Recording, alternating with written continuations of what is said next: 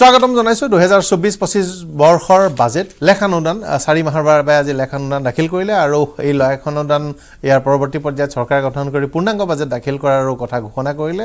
ইয়াৰ লগে লগে এই বাজেটক লৈ চৰ্চা হৈছে লেখ অনুদানক লৈ চৰ্চা হৈছে। যদিও পূৰ্ণাংগ বাজেট নহয় ইয়াত বহুকেইটা গুৰুত্বপূৰ্ণ বিষয় প্ৰসংগ উত্থাপন কৰা হৈছে। কেইবাটাও বিত্তীয় ঘোষণা আছে কেইবাটাও বিষয় কেইবাখন নতুন আঁচনিৰ কথা কোৱা হৈছে। আৰু এই বৃহৎ আঁচনিসমূহ পূৰ্ণাংগ অধিৱেশন চৰকাৰ গঠন কৰাৰ পাছত অনুষ্ঠিত কৰি জুলাই মাহত তেওঁলোকে নিয়মীয়া কৰিব এই কথাও প্ৰকাশ কৰিছে। নৰেন্দ্ৰ মোদী চৰকাৰৰ দ্বিতীয় কাৰ্যকালৰ শেষখন বাজেট আৰু এই বাজেট দাখিলৰ লগে লগে বিত্তমন্ত্ৰী নিৰ্মলা সীতাৰমণে একেৰাহে ছখনকৈ বাজেট দাখিল কৰাৰ পূৰ্বৰ বিত্তমন্ত্ৰী তথা প্ৰাক্তন প্ৰধানমন্ত্ৰী মোৰাজী দেশাই যি তেওঁৰ অভিলেখ আছে এই অভিলেখ স্পৰ্শ কৰিলে। এই বাজেট কেইবা দিশৰ পৰা গুৰুত্বপূৰ্ণ কথা। আমি বাজেটৰ বিভিন্ন প্ৰাসংগিক বিষয়সমূহ পাতিম। মোৰ সৈতে আছে ভাৰতীয় জনতা পাৰ্টীৰ প্ৰতিনিধি তথা অৰ্থনৈতিক বিশ্লেষক দেৱজিৎ মহন্ত ডাঙৰীয়া। ডক্টৰ দেৱজিৎ মহন্তক স্বাগতম জনাইছোঁ। মোৰ সৈতে আছে আন এজন গুৰুত্বপূৰ্ণ জ্যেষ্ঠ নেতা ফিকিৰ এফ আই চি চি আইৰ কো চেয়াৰমেন জয়দীপ গোটা ডাঙৰীয়া। স্বাগতম জনাইছোঁ আপোনাক। মোৰ সৈতে ছেবিৰ অনুমোদিত আৰে তথা দীৰ্ঘ সময় ধৰি অৰ্থনৈতিক বিশ্লেষণ কৰি আহিছে বিতুপন মজুমদাৰ ডাঙৰীয়া আপোনাক মই স্বাগতম জনাইছোঁ।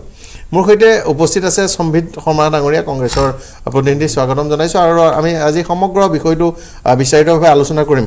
আমি আগতো বাজেটৰ প্ৰাক মুহূৰ্তত কৰা আলোচনাত বাজেটৰ ৰূপৰেখা কেনেকুৱা হ'ব তাৰ বিষয়ে কথা পাতিছিলোঁ। গতিকে মই প্ৰথমতেই যাব বিচাৰিছোঁ মজুমদাৰ ডাঙৰীয়াৰ ওচৰলৈ। বাজেটে আশা আকাংক্ষা কিমান প্ৰতিনিধিত্ব কৰিব পাৰিছে? বাজেট বা লেখানুদানে অন্তৰ্বৰ্তীকালীন বাজেট কিমান আশা আকাংক্ষা প্ৰতিনিধিত্ব কৰিব পাৰিছে বুলি আপুনি ভাবে? এতিয়ালৈকে যোনখিনি বাজেট হয় আমি লাষ্টটো পাতিছিলোঁ কথাখিনি যে বাজেটত যোনখিনি আমি ফ'কাছ কৰিছিলোঁ সেইদৰে লাষ্ট তিনি বছৰ বাজেটখন ভাল হৈছিলে। আৰু জেনেৰেলি যেতিয়া এখন বাজেট প্ৰেজেণ্ট কৰা হয় যেতিয়া আমাৰ নৰ্মেল মিডিল ক্লাছ বা আমি নৰ্মেল মানুহখিনিয়ে কি চাওঁ যে কি বস্তুৰ দাম কমিছে আৰু কিবা ইনকাম টেক্সত কিবা শ্লেব চেঞ্জ হৈছে নেকি সেইটো নৰ্মেল মিডিল ক্লাছে এক্সপেক্ট কৰে। চ' সেই বস্তুটো হোৱা নাই আৰু সেই বস্তু নোহোৱাটো ভাল কথা। কিয়? জেনেৰেলি এইটো এটা ইণ্টাৰিম বাজেট আৰু ইয়াত জেনেৰেলি আপোনাৰ দুমাহৰ কাৰণে জেনেৰেলি যিখিনি বা এক্সপেণ্ডিচাৰ এক্সপেণ্ডিচাৰ যিখিনি হয় তাৰ কাৰণে এটা এটা প্লেন বনোৱা হয়। কিন্তু গোটেই বাজেটখন এটা ভিজনেৰী টাইপ প্ৰেজেণ্ট কৰা হৈছে।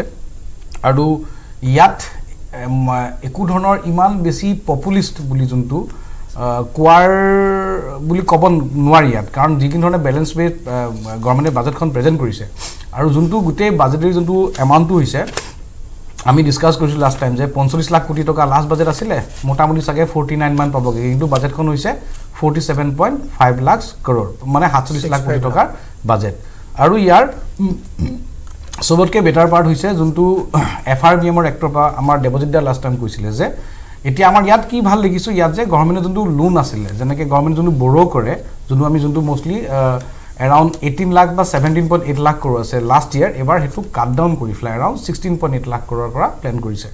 তো আৰু আৰু এটা বস্তু ভাল হৈছে কিন্তু সেইটো ওপৰত মই বেছি আৰু অলপ বিচাৰিছিলোঁ দহ লাখ কোটি টকাৰ যোনটো আন্তঃগাঁথনি বা কেপিটেল এক্সপেণ্ডিচাৰ যোনটো হয় গভৰ্ণমেণ্টৰ ফালৰ পৰা সেইটো এঘাৰ লাখ ইলেভেন পইণ্ট ওৱান গোটেই নেলচন নাম্বাৰ এটা গোটেই ফিগাৰটো যদি আপুনি বাজেটত খুলি চায় ইলেভেন লাখ কৰোৰ যোনটো কৰিছে এক লাখ কোটি টকা এডিশ্যন কৰিছে মানে টেন পাৰ্চেণ্ট বা ইলেভেন পাৰ্চেণ্ট ইনক্ৰিজ কৰিছে সেইটো অলপ আমি বেছি এক্সপেক্ট কৰিছিলোঁ। মধ্যবিত্তই বা যেনে আমি নৰ্মেল মানুহখিনিয়ে কি চাওঁ আমি প্ৰথমতে এখন বাজেট যেতিয়া খুলিছোঁ আমি পটককৈ ভাবোঁ যে বাজেটখন কি বস্তুৰ দাম কমিছে বা কি বস্তুৰ দাম বা আমাৰ আমাৰ টেক্সত কি শ্লেব আমি সেনেকৈ ধৰণে চাওঁ। কিন্তু আমাৰ চোৱা পাৰ্চপেক্টিভ কিন্তু লাষ্ট দুবছৰ তিনি বছৰৰ পৰা যিমানখিনি ফিনান্সিয়েল এডুকেশ্যনৰ ওপৰত মানুহে বস্তুখিনি চোৱা আৰম্ভ কৰিছে বস্তুখিনি বুজি পোৱা আৰম্ভ কৰিছে বাজেটখন সেনেকৈ চালে নহ'বগৈ। কাৰণ আমাৰ দেশৰ অৰ্থনৈতিক গ্ৰ'থৰ হাৰ যদি ভাল হয় তেতিয়া তাৰ লাভাৱান সকলোৱে হ'ব। তো সেই ক্ষেত্ৰত কেপিটেল এক্সপেণ্ডিচাৰ যোনটো পুচ হৈছে পুচ হৈছে আৰু আমি বেছি এক্সপেক্ট কৰিছিলোঁ যে প্ৰবেবলি ই বিছ পাৰ্চেণ্ট হ'লে বেছি ভাল হ'ব বাৰ এগেইন এইটো ভোট অফ একাউণ্ট বাজেট আৰু ইণ্টাৰিম বাজেট ইয়াত আপুনি বহুত মেজৰ মেজৰ একো ডাঙৰ এনাউন্সমেণ্ট টাইপ সেনেকুৱা নাই। আৰু কিছুমান আপোনাৰ বহুত বেছি পপুলিষ্ট টাইপ নকৰিলে এটা বেলেঞ্চ বাজেট হিচাপে কওঁ আৰু ইয়াৰ মধ্যবিত্তৰ ফালৰ পৰা মই এটা পাৰ্চপেক্টিভ চাওঁ যদি ইকনমিক গ্ৰ'থ আহে ইকনমিক গ্ৰ'থ আহে তেতিয়া ইয়াৰ দেশৰ ইকনমিক গ্ৰ'থ আহি প্ৰবেবলি এটা সময়ত ডেভেলপমেণ্ট পাৰ্পাজত সকলোৰে হ'ব। কিন্তু এখন বাজেটে গোটেইখিনি সকলোকে চুই যাব পৰা বুলি যে কথাটো কয় চাওক আপুনি পঞ্চল্লিছ লাখ কোটি পঞ্চাছ লাখ কোটি টকাৰ পৰা আপুনি চব বস্তু কিছুমান কাম কেতিয়াবা আপুনি প্লেনত কেতিয়াবা এৰিব লগা হৈ যায়। চ' এজ এ হ'ল মোৰ মতে এটা বেলেঞ্চ বাজেট আৰু ইকনমিক গ্ৰ'থ হাৰ নেক্সট ইয়াৰ প্ৰবেবলি যোনটো কেপেক্স চলিছে ছেভেন পাৰ্চেণ্টৰ ওপৰত থাকিব লাগে। আৰু ইয়াৰ প্ৰব্লি আজি এটা গ্ল'বেল চিটুৱেশ্যন যোনটো আমি লাষ্ট কথা পাতিছিলোঁ যে গ্ল'বেলৰ যোনটো এটা টেনশ্যন এটা চলি আছিলে তাৰ বিষয়ে নিৰ্মলা সীতাৰামনে সেই বিষয়ে বহুতবাৰ কৈছে যে গ্ল'বেল হেডউইনছ বাহিৰত ইনফ্লেশ্যন কাৰণে আমাৰ ৰিজাৰ্ভ বেংকে ৰেট অফ ইণ্টাৰেষ্ট বঢ়াইছে যাৰ কাৰণে এতিয়া বৰ্তমান হাউচিং লোনৰ ই এম আই বহুতৰ দহ বছৰ বাঢ়িও গৈছে। চ' প্ৰব্লি সেইটো অলপ মডে এইটো আপোনাৰ ৰেচনেলাইজ হ'ব বা ডিক্লাইন হ'ব।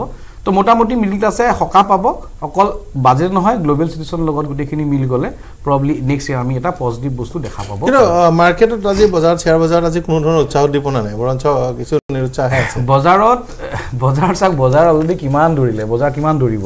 বজাৰ অলৰেডি চাওক আমি বজাৰ দুটা বস্তু চাওঁ বজাৰত বজাৰ কেতিয়াও বজাৰত বাজেটখন এক্সপেক্টেশ্যন এনেকুৱা আছিলে ভোট অফ একাউণ্ট বাজেট লৈ পেলাই বজাৰত এনেকুৱা ধৰণৰ এক্টিভিটি হ'ব বুলি ভাবিছিলে। আৰু বজাৰ যদি চাওঁ আমি নিফটি ইণ্ডেক্সে চাওঁ আমাৰ সেই ক'ৰবাৰ ঊনৈছ হাজাৰৰ পৰা আজি একৈছ বাইছ হাজাৰৰ ওচৰত পাইলেগে। আৰু বজাৰ যে এটা বস্তু হয় বজাৰ এটা জেগা ছাষ্টেইন কৰি আছে। এতিয়া বজাৰখন কি হয় দুটা বস্তু পাৰ্ট চলে। অকল অকল নিউজৰ বেছ ওপৰত নচলে। বজাৰখন অকল নিউজৰ ওপৰত নচলে। আৰু বজাৰত এক্সপেক্ট কৰি আছিলে ভয় খাই আছিলে যে কিবা পপুলিষ্ট মেজাৰ দিব নেকি? পপুলিষ্ট মেজাৰ দিব বুলিহে বজাৰ ফল হ'বলৈ ভাবি আছিলে। কিন্তু পপুলিষ্ট মেজাৰ নোহোৱাৰ কাৰণে কেপেক্সৰ ওপৰত ডিচেণ্ট পুষ্ট হোৱাৰ কাৰণে বজাৰখন ৰখি থাকিলে। কাৰণ বজাৰখন এতিয়া কি হয় অলৰেডি এক্সেচিভ ভেলুৱেশ্যন ৱাইজ বহুত এক্সপেঞ্চিভ হৈ আছে। আমি যদি আমি বজাৰখন চাওঁ আমাৰ ভাৰতৰ জি ডি পিৰ মে বি এৰাউণ্ড তিনিশ লাখ বা two twenty lakh to ninety lakh crore আৰু গোটেই বজাৰখনৰ মাৰ্কেট কেপ তিনিশ চল্লিছ লাখ কোটিমান টকা চলি আছে। So' it's expensive market. Compare to the G D P তো এখন বজাৰ কেতিয়াবা অলপ লাগে আৰু প্ৰব্লি এতিয়াতো সেইটো আমি এতিয়া বজাৰ আজি বজাৰ ষ্টেবল হৈ গ'ল বুলি যে কি বুলি কয় বাজেটখন বেয়া। আমাৰ অফিচত কিছুমানে কৈছে এই বেয়া বাজেট দেই বোলে। মইতো কিয় বেয়া বাজেট? বোলে নহয় বজাৰ বোলে মাৰ্কেট ফল নহ'ল বোলে। মানে বুজি পাইছে নে বজাৰ ট্ৰেডাৰবিলাকে মাৰ্কেট ফল ফল মানে এটা ভাবি ফল বিচাৰি আছিলে। কাৰণ বজাৰে পপুলিষ্ট দিয়ক ফল হওক আমাৰ দৰকাৰ নাই যে বজাৰ উঠিলেই যে মানুহৰ লাভ হয় এনেকুৱা নহয়। বজাৰটো উঠিয়ে আছে ভেলু ক্ৰিয়েট কৰি আছে আপোনালোকৰ ইনফ্ৰাষ্ট্ৰাকচাৰত আপোনাৰ ৰেলৱে কোম্পেনীবিলাকে পইচা ক্ৰিয়েট কৰি আছে মানুহৰ মিডিল ক্লাছৰ এতিয়া মিউচুৱেল ফাণ্ডতো ইনকাম জেনেৰেট হৈছে। কাৰণ ইকনমিক গ্ৰ'থ ষ্টৰীৰ লগত বজাৰখন চলি আছে। অৱশ্যে শেহতীয়া ৰেলীটো ইনফ্ৰাষ্ট্ৰাকচাৰ কোম্পানীজবোৰে খুব ভাল কৰিছে। হয় মই গুপ্তা ডাঙৰীয়া ওচৰলৈ আহিম আপুনি ইণ্ডাষ্ট্ৰি আৰু বিজনেছ কমিউনিটিৰ পৰা আপোনালোকে কেনেদৰে বাজেটখন লৈছে? আমি বাজেটখন অতি পজিটিভভাৱে লৈছোঁ। ইয়াত যিখিনি কথা আছে তেওঁ যেনেকৈ ক'লে যে কোনো পপুলিষ্ট মেজাৰ যিটো মানুহে ভাবিছিলে হ'ব তেনেকুৱা ধৰণৰ হোৱা নাই। তাৰ পৰা গভৰ্ণমেণ্টৰ ষ্টেবিলিটিটো আৰু আমাৰ গভৰ্ণমেণ্টে কৰা কামখিনিৰ কনফিডেঞ্চটো সূচায়। যে যিখিনি কণ্টিনিউটি হ'ব লাগিছিলে স্কিমছবিলাক this has been reflected in a much more positive way ইনফ্ৰাষ্ট্ৰাকচাৰৰ ওপৰত যথেষ্টখিনি চৰকাৰে ধ্যান দিছে।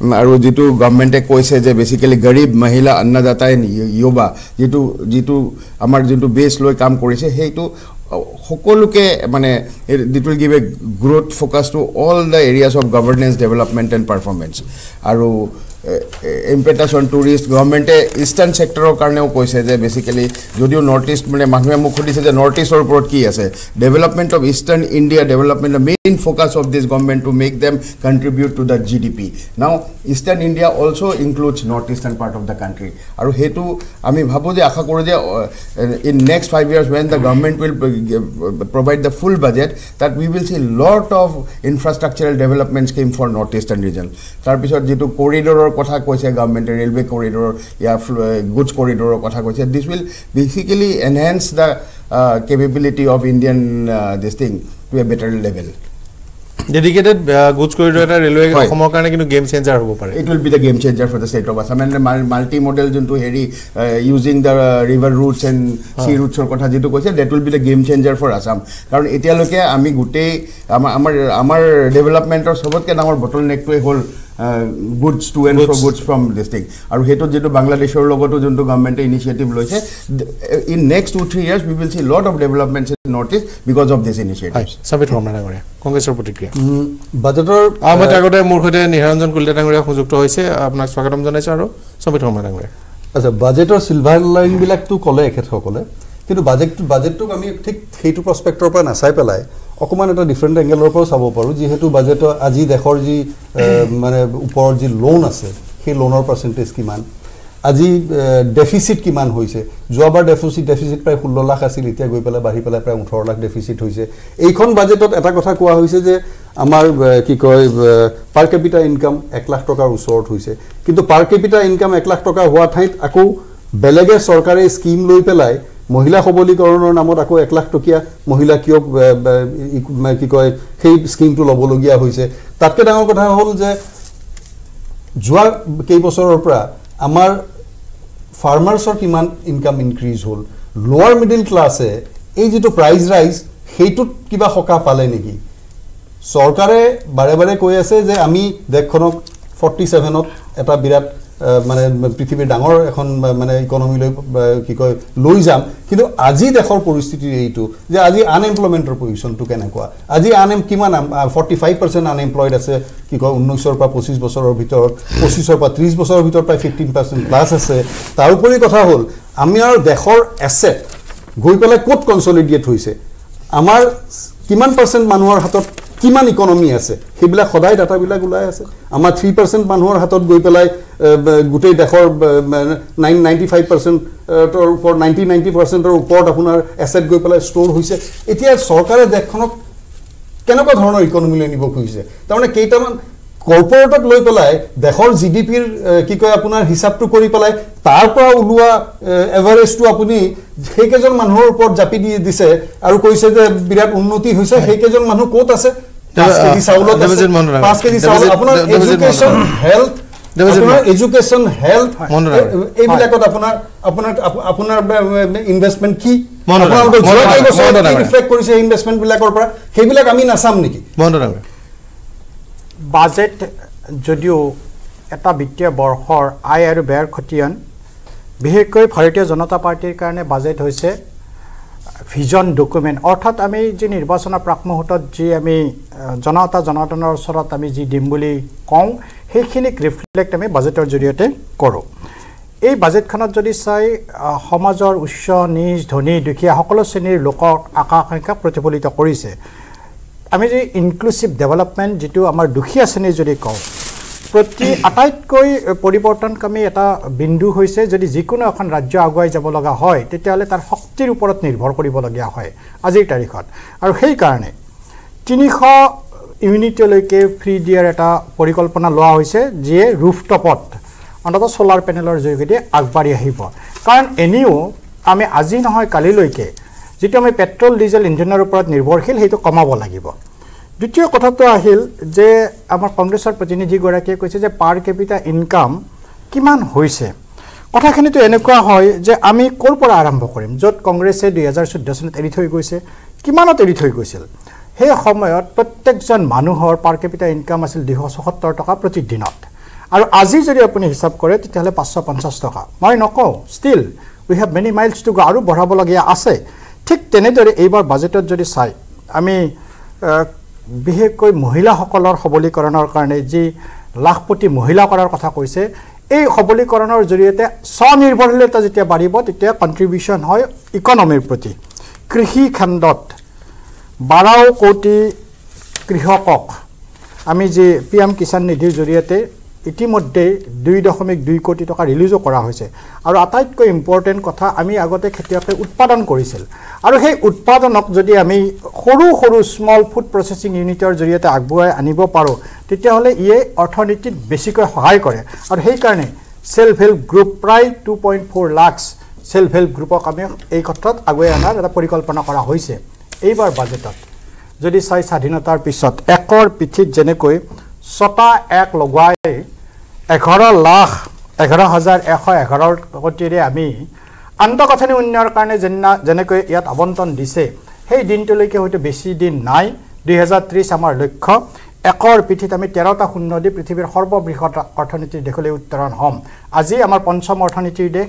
আমি লক্ষ্য নিৰ্ধাৰণ কৰিছোঁ দুহেজাৰ পঁচিছত আমি তৃতীয় সৰ্ববৃহৎ অৰ্থনীতিৰ দেশলৈকে উত্তৰণ হ'ম। এটা কথা মই কংগ্ৰেছৰ প্ৰতিনিধিগৰাকীক সোঁৱৰাই দিওঁ। কেতিয়াবা এনেকুৱা হ'ব নালাগে যে বিৰোধী বিৰোধিতা কৰিব লাগে কাৰণে বিৰোধিতা কৰিব নালাগে। মই লাষ্ট পইণ্ট হিচাপত কওঁ। প্ৰত্যেক ৰাজ্যক এইবাৰ বাজেটত যোৱা হেৰিতে কৰিছিলে প্ৰত্যেক ৰাজ্যৰ কাৰণে পঞ্চাছ বছৰৰ কাৰণে শূন্য সুতৰ হাৰত আন্তঃগাঁথনি উন্নয়নৰ কাৰণে ঋণ আগবঢ়াব। এই ঋণটো কেৱল মাত্ৰ বিজেপি নেতৃত্বাধীন ৰাজ্যকেইখনে নাপায় কংগ্ৰেছ নেতৃত্বাধীন ৰাজ্যকেইখনেও পাব। কিন্তু দুৰ্ভাগ্য এইটোৱেই হয় আজি ভাৰতত কংগ্ৰেছ নেতৃত্বাধীন শাসনৰ ৰাজ্যবিলাক কমি আহিছে। গণতন্ত্ৰত জনতাই জনাৰ্দন আৰু সেইকাৰণেই আমাৰ প্ৰধানমন্ত্ৰী মোদী ডাঙৰীয়াই কৈছে সেইটো আমাৰ অহংকাৰ নহয় আমাৰ বিশ্বাস। অহা চৌব্বিছত আমি ফুল ফ্লেজেড বাজেট দি যিখিনি কাম কৰিব লগা ষ্টিল। কৰিব লগা আছে সেইখিনি আমি কৰিম। কিন্তু এই বাজেটে সকলোৰে। প্ৰতিফলিত ডাঙৰীয়া। হয়। বাজেটৰ বিষয়ে যোৱা পৰহি আমি এইখন মঞ্চতে আলোচনা কৰিছিলোঁ আৰু আমাৰ ফালৰ পৰা কোৱা হৈছিল যে এখন জনমুনি জনসন্মোহিনী বাজেটত হয়তো পৰৱৰ্তী নিৰ্বাচনৰ প্ৰতি চৰকাৰে লক্ষ্য ৰাখি বাজেট প্ৰস্তুত কৰা হ'ব। কিন্তু আজি যেতিয়া আমি সামগ্ৰিকভাৱে গোটেই বাজেটখন দেখিলোঁ অলপ আগতে মজুমদাৰ ডাঙৰীয়াও সেই কথাখিনিকে কোৱা যেন পালোঁ মই যে যিমানখিনি মানে সন্মোহনী বুলি এটা কোৱাৰ প্ৰৱণতা আছিল সেই সন্মোহনটো যেন এই বাজেটত যিমান আমি সাধাৰণ নাগৰিক হিচাপত আশা কৰিছোঁ সেই সন্মোহন নাই। কিছু ক্ষেত্ৰত এয়া বাস্তৱ ভিত্তিক বাজেট। কাৰণ বাজেটত চাৰিটা কথা ইয়াত সন্মোহন কৰিব পৰা বস্তুখিনি বিজেপি ইতিমধ্যে ষ্ট্ৰীমলাইন কৰি ৰাখিছে। কৃষকক কৃষক সন্মান নিধি দি আছে চাউল দি আছে মহিলা গোটৰ বাবে পইচা দি আছে। গতিকে য'ত য'ত ভোটাৰে বেনিফিচিয়াৰী সৃষ্টি কৰি প্ৰি ইলেকশ্যন এটা ৱেব সৃষ্টি কৰিব লাগে তাত ইতিমধ্যে দি থৈছে আদিত্য পৰাগমণি আদিত্য ডাঙৰীয়া সেই কথাখিনি আপুনি সেইদিনাও কৈছিল মূলতঃ কথাটো এনেকুৱা যে আমি এখন যিখন চৰকাৰক ভিত্তি কৰি আমি চলি আছোঁ কেন্দ্ৰীয় চৰকাৰ তেখেতসকলে আচলতে সাধাৰণ নাগৰিকতকৈ বহুত বেছি দূৰদৰ্শী যেন লাগে। অৰ্থাৎ তেখেতসকলে দুহেজাৰ চৌব্বিছত কি বাজেটত কি দিব সেয়া দুহেজাৰ ঊনত্ৰিছৰ প্ৰতি লক্ষ্য ৰাখি কৰিব। যেনে দুহেজাৰ ঊনৈছত যিখিনি কথা ভাবিছিল দুহেজাৰ চৌব্বিছত তাৰ হয়তো কিছুমান ফলাফল পাইছোঁ। আৰু তাৰ ফলতে আজি আপুনি যেতিয়া বিত্তমন্ত্ৰীৰ ভাষণত প্ৰথম এক ঘণ্টা তেখেতসকলৰ পৰৱৰ্তী পাঁচ দহ বছৰৰ যি সফলতা আশী কোটি মানুহক অন্ন দিয়া বা বিভিন্ন ধৰণৰ কথা তেখেতসকলে উল্লেখ কৰিব পাৰিছে। গতিকে যদি দুহেজাৰ চৌব্বিছত যিখিনি মহিলা কৃষক যুৱ প্ৰজন্ম গৰীবক লৈ যিখিনি কৰাৰ কথা ভাবা হৈছে এয়াই নিশ্চয় দুহেজাৰ সাতচল্লিছ চনৰ যিটো বিকশিত ভাৰতৰ পৰিকল্পনা কৰা হৈছে তাক সাকাৰ কৰাত কিছু সহায় কৰিব। মই কেইটামান উদাহৰণ দিয়া দিব বিচাৰিছোঁ। বিশেষকৈ মধ্যবিত্ত শ্ৰেণীৰ বাবে ঘৰৰ ঘৰ ঘৰ খণ্ডৰ বিকাশৰ বাবে ভাড়াঘৰ আৰু বস্তিত থকা লোকক ফ্ৰী হাউচিঙৰ বা মানে ৰেহাই মূল্যত ঘৰ বনোৱাৰ কিছু সুযোগৰ কথা কোৱা হৈছে। কেইটামান কথা কোৱা হৈছে যে প্ৰায় চল্লিছ পঞ্চল্লিছ হাজাৰ নতুনকৈ ৰেল ডবা বন্দে ভাৰতৰ দৰে সৃষ্টি কৰিব আৰু ইয়ে আমাৰ উদ্যোগ খণ্ডত এক বৃহৎ পৰিমাণৰ বিনিয়োগ মানে বিনিয়োগ আগবঢ়াব। অন্যহাতে আন এটা কেইটামান কথা ইয়াৰ আজিৰ বাজেটত আছে সেয়া হৈছে যে ত্ৰিছ কোটি মহিলাক ক্ষুদ্ৰ ঋণ দিয়াৰ কথা কোৱা হৈছে। ইতিমধ্যে আমাৰ প্ৰধানমন্ত্ৰী ডাঙৰীয়াই মহিলাসকলক লাখপতি কৰাৰ এক প্ৰকাৰৰ 30 কোটি নহয়, তিনি কোটি, ক্ষমা কৰিব। তিনি কোটি মহিলাক ক্ষুদ্ৰ ঋণ দিয়াৰ কথা কোৱা হৈছে। এম এছ এম ই ছেক্টৰকো কোৱা মানে বহুতখিনি ৰেহাইৰ কথা কোৱা হৈছে। আনহাতে যুৱ প্ৰজন্মক কৰিছে। গতিকে। এইখিনিয়ে আমাৰ বজাৰ ব্যৱস্থাত এটা উচ্চলতা সৃষ্টি কৰিব আৰু সাধাৰণ মানুহৰ মাজত নিশ্চয় এটা আশা সঞ্চাৰ কৰিব পাৰে যে এইখিনি যদি হয় আমাৰ গ্ৰাম্য অৰ্থনীতি লগতে ক্ৰমাগতভাৱে স্থবিৰ হৈ পৰা অৰ্থনীতিত এটা গতিশীলতা আনিব। কিন্তু মই। মজুমদাৰ ডাঙৰীয়া। এতিয়া আটাইতকৈ ডাঙৰ প্ৰশ্নটো হৈছে যে আন্তঃগাঁথনি ক্ষেত্ৰত বাৰু কিছু আঁচনি কৰিছে বা আন্তঃগাঁথনিত এটা বিনিয়োগ বৃদ্ধিও কৰিছে কিছু পৰিমাণে। কিন্তু মূল কথাটো এতিয়া আহিব যে ভাৰতে সম্পূৰ্ণ ফেৰ মাৰিব পৰাকৈ যিসমূহ বিষয় আছিল আমাৰ দেশৰ উন্নয়নৰ স্বাৰ্থত বা আমি ভৱিষ্যতলৈ যদি তৃতীয় তিনিখন শ্ৰেষ্ঠ দেশৰ ভিতৰত এখন হ'বলৈ বিচাৰোঁ তেতিয়াহ'লে কিন্তু আমি এতিয়াও বহু দূৰ যাবলৈ বাকী আছে। কাৰণ আশী কোটি মানুহক চৰকাৰে চাউল দি খুৱাই ৰাখিবলগীয়া হৈছে এই কথাটো চৰকাৰে আজি বাজেট অভিভাষণত স্বীকাৰো কৰিছে। স্বীকাৰ কৰিছে মানে তেওঁলোকে কৈছে আশী কোটি মানুহ পঞ্চাছ কোটি মানুহে মানে নিজে খাই থাকিব পাৰিছে বাকী আশী কোটি মানুহক কিন্তু চৰকাৰে খুৱাই থাকিবলগীয়া হৈছে অন্ততঃ ভাত। মজুমদাৰ ডাঙৰীয়া সেইটো এটা এটা ডাঙৰ প্ৰব্লেম কি হয় এখন ডেভেলপিং ফেজত থকা এখন কাণ্ট্ৰিত কি হয় একচুৱেলি যোনটো পভাৰ্টি বোলা বস্তুটো বহুত বুজিবলৈ অলপ টান অভিজিত বেনাৰ্জী এবাৰ কৈছিলে যে তেওঁৰ যোনটো নবেল ল'ৰাটো তেখেতে। এবাৰ কি হৈছিলে তেওঁলোকে এবাৰ ভিজিট কৰোঁতে ইয়াত দেখিছিলে এখন এগ- এগৰাকী দুখীয়া মানুহ আছিলে তেখেতৰ সন্মুখত গ'লে যে দেখিলে তেওঁক অলপ পইচা দৰকাৰ নেকি তেওঁ অলপ হেল্প কৰিম বিচাৰে বুলি তেওঁ পঁচিছ হাজাৰ টকা দিলে। তেওঁ মানে দুটা ল'ৰা দুটা ল'ৰা আছিলে আৰু ৱাইফগৰাকী লেডিগৰাকী আছিলে। তো তেতিয়া তেওঁ ক'লে যে আপোনাক মই পঁচিছ হাজাৰ টকা দিছোঁ আপুনি নিজৰ অলপ কাম বন আৰম্ভ কৰক। তো তাৰপিছত তেওঁ বহুত দিন গুচি গ'লগৈ। তাৰপিছত তেওঁ আহি দেখিছে মানুহ মানুহগৰাকীয়ে সেই পঁচিছ হাজাৰ টকা দি এটা টিভি কিনিছে। চ' কথাটো কি হয় যে তেওঁ ক'লে যে আপুনি টিভি কিয় কিনিলে? যে টিভি কিয় কিনিলোঁ যে মোৰ একচুৱেলি যেতিয়া কাম কৰিব ওলাই যাওঁ ল'ৰা ছোৱালীকেইটাই বৰ দিগদাৰ কৰে মই তেওঁলোকৰ কাৰণে কাম কৰিব নোৱাৰোঁ মই ঘূৰি আহিব লগা হয়। তো এতিয়া মই টিভি এটা কিনি দিছোঁ আৰু অলপ চলপ বেপাৰটো লগাইছোঁ এতিয়া ল'ৰা ছোৱালীকেইটা বহি পেলাই টিভি চাই থাকে মই কামখিনি কৰি থাকোঁ। চ' অকল কিছুমান কি হয় মনিটাৰী পোষ্ট দি গোটেইখিনি অভিয়াছলি চেঞ্জ নহয় মাইণ্ডছেটৰ কথা আছে। যেনেকৈ আমাৰ entrepreneur development all round development গোটেইখিনি দৰকাৰ। আৰু কি হৈছে ভাৰতত দুটা বস্তু হৈছে যোনটো মই ইনভেষ্টমেণ্টৰ কথা কৈ আছোঁ। যোনটো অভাৰঅল ইনভেষ্টমেণ্ট যোনটো এটা ক্লাইমেট বিল্ড আপ কৰে। লাষ্ট টাইম কৈছিলে প্ৰাইভেট ইনভেষ্টমেণ্ট একচুৱেলি অলপ ফ্ৰেগমেণ্টেড হৈ আছে। চেণ্ট্ৰেল গভৰ্ণমেণ্টৰ ইনভেষ্টমেণ্ট হৈ আছে। প্ৰাইভেট ইনভেষ্টমেণ্ট যোনটো হয় মষ্টলি ছেগমেণ্টেড টুৱাৰ্ডছ আপোনাৰ এনাৰ্জিত হৈ আছে অলপ। আৰু ইয়াত আপোনাৰ কি বুলি কয় এভিয়েশ্যন হৈছে অলপ অট'মোবাইলত হৈ আছে। তো প্ৰাইভেট ইনভেষ্টমেণ্ট আৰু মষ্টলি লাৰ্জ কোম্পানীজৰ থ্ৰুদি হৈ আছে। আৰু প্লাছ স্মল মিডিয়াম টাৰ্ম যোন চাইজ যোনটো এণ্টাৰপ্ৰাইজ হয় এছ এম ইজ হয় তাত ইমানখিনি এতিয়াও ৰিকভাৰী বা সেনেকুৱা ধৰণৰ গ্ৰ'থ হোৱা নাই যোনটো আমাৰ কাৰণে দৰকাৰ। ছেকেণ্ড আৰু এটা বস্তু ইম্পৰ্টেণ্ট হয় যোনটো আমাৰ এগ্ৰিকালচাৰ ছেক্টৰ হয়। এগ্ৰিকালচাৰ যোনটো গোটেই যদি চাওঁ এগ্ৰিকালচাৰ চিনাৰী ইমান বেছি বহুত প্ৰমিচিং নহয় যদি আমি প্ৰেক্টিকেলি চাওঁ। কাৰণ লাষ্টৰ যোনটো এলনিনো ৱেডাৰ কণ্ডিশ্যন যেতিয়া drought type scenario' build up হয় তেতিয়া আমাৰ খাৰিফৰ আউটপুট ডিক্লাইন হৈছে। খাৰিফৰ আউটপুট আমাৰ ৰিচেণ্টলি ফল হৈছে। তাৰ কাৰণে কি হয় যেতিয়া এগ্ৰিকালচাৰ আমাৰ যিমানে যি কওক প্ৰাইম ইনকাম প্ৰাইম ইনকাম নহয় মষ্টলি ছিজনেল ইনকাম হয়। এগ্ৰিকালচাৰ কৰা মানুহখিনি গুচি যায়গৈ মষ্টলি চিটিত যাব তেওঁ তাত কোৱা ৰিয়েল এষ্টেটত কাম কৰিব। আকৌ ৰিয়েল এষ্টেট ছেক্টৰ আকৌ প্ৰব্লেম কি হৈছে? হায়াৰ ৰেট অফ ইণ্টাৰেষ্টৰ কাৰণেও তাতো চাফাৰ কৰি আছে। তো মোটামুটি বিভিন্ন ধৰণৰ প্ৰব্লেম আছে। এগ্ৰিকালচাৰ ছেক্টৰত কি হয় এতিয়ালৈকেও ছাষ্টেইনেবল একো ধৰণৰ মেজৰ মই দেখা নাই। গাঁৱত খালি কি হৈছে ঠিক আছে কিছুমান ভাল কাম হৈছে। আপোনাৰ লেট্ৰিন বাথৰুম বনাইছে বা অলপ এতিয়া ক্ৰপ ইঞ্চুৰেঞ্চৰ ওপৰতো কথা পাতিছে। ক্ৰপ ইঞ্চুৰেঞ্চৰ কাৰণেও এৰাউণ্ড ফিফটিন থাউজেণ্ড কৰোৰটো এৰাউণ্ড চাগে সিমান পোন্ধৰ ষোল্ল হাজাৰ কোটি টকাৰ কথা কৈছে। কিন্তু অভাৰঅল যোনটো এগ্ৰিকালচাৰ বা গ্ৰামীণ অৰ্থনীতিৰ ওপৰত এতিয়াও কিবা মডাৰ্নাইজেশ্যন নাই এতিয়াও ধৰি লওক এতিয়া যি ধৰণৰ ৱেডাৰ কণ্ডিশ্যনবিলাক হৈ আছে আগৰ নিচিনা নৰ্মেল ৱেডাৰ কণ্ডিশ্যন নহয় ছাডেনলি এতিয়া আপোনাৰ El Nino weather condition I M ডিয়ে প্ৰকাশ কৰিছিলে এতিয়া বৰষুণ আহিব নেকি? কালি বৰষুণ আহিব নেকি? মই ইকনমিক মই কেতিয়াবা আমি কমটি মাৰ্কেটৰ শ্ব' কিছুমান কৰি থাকোঁতে মোক বহুত মানে এনেকুৱা ধৰণৰ হয় যে এতিয়া খেতিয়কবিলাকে কেতিয়া আপোনাৰ মানে কি বুলি কয় ধান আৰম্ভ কৰিব আৰম্ভ আৰম্ভ কৰিব। মানে সিমান আনক্লিয়াৰ চিনাৰী হৈ থাকে। তো এতিয়া বস্তুবিলাক কি হয় অলপ মডাৰ্নাইজেশ্যন দৰকাৰ। আৰু এইখিনি ক্ষেত্ৰত বহুতখিনি দৰকাৰ। মেক্সিমাম যিবিলাক ডেভেলপ ইকনমিজৰ হয় এগ্ৰিকালচাৰ কণ্ট্ৰিবিউট কৰে। তাৰ তাত কি হয় তাত এগ্ৰিকালচাৰ অলমষ্ট মডাৰ্নাইজ হয় তাত একচুৱেলি সেইটো কাৰণে তাত চেইনটো ভাল হয়। কিন্তু আমাৰ এগ্ৰিকালচাৰ কেতিয়াও বেকবন হ'ব পৰা নাই ৰুৰেল ইকনমি যোনটো হয় ৰুৰেল ইকনমি আমাৰ ইকনমিক ছাপৰ্ট দিব পৰা নাই তাৰ কাৰণেও প্ৰাইভেট ইনভেষ্টমেণ্ট পিক আপ হোৱা নাই। চ' গোটেইখিনি ইকনমি গোটেই চেইনটো লিংক হয়। তো ক'ৰবাত ন ক'ৰবাত তাত কিছুমান ইছ্যুজ আছে আৰু সেইবিলাক বস্তু লৈ পেলাই আগবাঢ়িব লাগিব। কাৰণ হৈছে। এলনিনো আপোনাৰ আগৰ নিচিনা নহয় যে আপোনাৰ এলনিনো ৱেডাৰ আহি থাকিব লানিনা হ'ল ঠাণ্ডা পৰিব ক'ৰবাত চিনাৰীবিলাক চেঞ্জ হৈ যায় ক'ৰবাত বেলেগখন দেশত ফ্লাড হৈ আছে কাৰণ গ্ল'বেল ৱেডাৰ ড্ৰাষ্টিকেলি চেঞ্জ হৈ আছে। আৰু গ্ল'বেল ৱেডাৰ চেঞ্জৰ কাৰণে আপোনাৰ ৱৰ্ল্ডৰ আই থিংক যিবি চাম লাখ কৰোৰ আপোনাৰ ৱাইপ আউট হৈ যায় প্ৰত্যেক বছৰে বছৰে ক'ৰবাত ফায়াৰ হোৱাৰ কাৰণে। এটা সৰু বস্তু নহয়। এইবাৰতো ভাৰতৰ আৰু সুবিধা হ'ব কিজানি এইবাৰ আমি পিক ছামাৰ কিজানি এপ্ৰিলৰ আৰ্লি এপ্ৰিলতে আমি পাই যাম। আৰু মে বি এইবাৰো এলনিনো হ'ব পাৰে। হ'ব পাৰে। এলনিনো মানে দুহেজাৰ কিন্তু তেনেকুৱাই দেখা এলিনো লাষ্ট ইয়াৰ দুবছৰ থাকে এলিনো চাইকেল ৱাইজ চলে। আৰু এলিনো হ'লে আপোনাৰ ড্ৰট হয়। ড্ৰট হ'লে আপোনাৰ আপোনাৰ এগ্ৰিকালচাৰ প্ৰডাক্টিভিটি ড্ৰট হ'ব। তো এইবছৰ লাকিলি অলপ চলপ ক'ৰবাত মিলি গ'ল কিন্তু খাৰিফৰ প্ৰডাকশ্যন ইমান অভাৰঅল যদি চাওঁ। সিমান নহ'ল। কাৰণ সেইটো এটা ডাঙৰ ফেক্টৰ চ' এগ্ৰিকালচাৰ ক্ষেত্ৰত গভৰ্ণমেণ্টে কৰিছে কিছুমান বস্তু আৰু ফাৰ্ডাৰ কৰিবলগীয়া মই ভাবোঁ যে তাত দৰকাৰ আছে। কৰিবলগীয়া আছে হয় গুপ্তা ডাঙৰীয়া কিন্তু এতিয়া সন্মুখত জটিলতা হ'ব যে হিতাধিকাৰী সৃষ্টিৰে চৰকাৰ আনিব পাৰিব কিন্তু হিতাধিকাৰী সৃষ্টি দেশ এখনৰ কাৰণে খুব ভাল কথা নহয়। আৰু চৰকাৰে কিছুমান ক্ষেত্ৰত অলপ অত্যাধিক হিতাধিকাৰী সৃষ্টি কৰিছে। নাম্বাৰটো অলপ তাতকৈ কিছু কম হোৱা হ'লেও হয়। নহয় অকল চৰকাৰে হিতাধিকাৰী সৃষ্টি কৰি থকা নাই।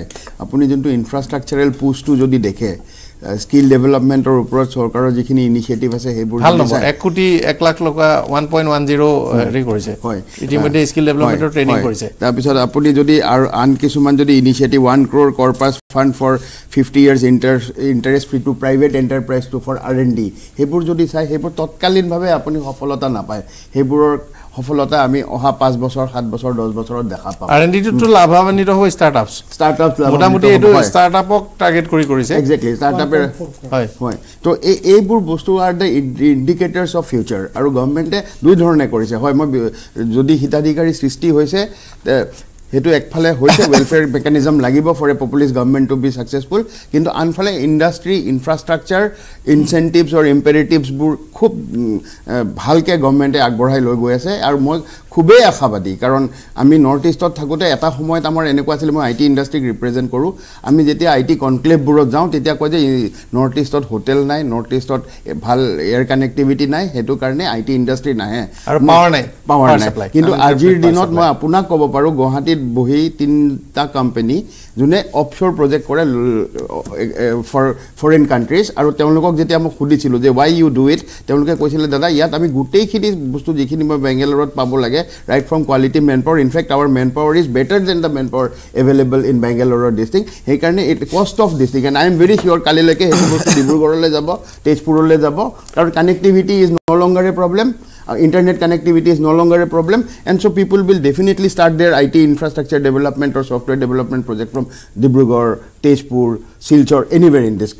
state অকণমান পাৱাৰহে ইছ্যু হৈ আছে চিনেৰিটোত পাৱাৰ। অলপ ইছ্যু আছে আৰু অলপ যদি শক্তি সংস্কাৰ হৈ যায়।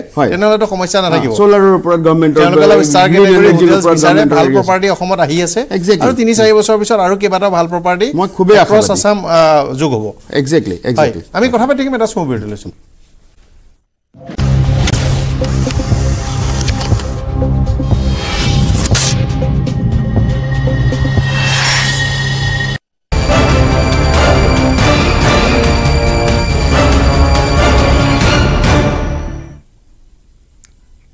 বিৰতিৰ পিছত স্বাগতম জনাইছোঁ।